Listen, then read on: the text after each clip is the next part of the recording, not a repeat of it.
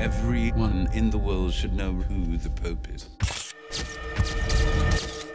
It's not vanity, it's necessity. He is a magnificent person. But your holiness is far more volatile.